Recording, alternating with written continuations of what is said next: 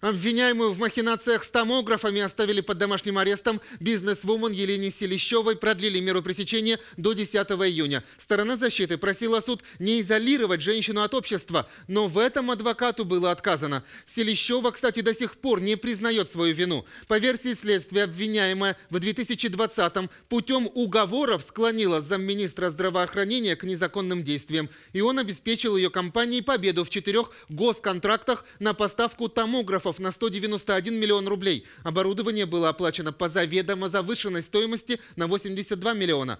Наложен арест на имущество обвиняемой на сумму в 60 миллионов.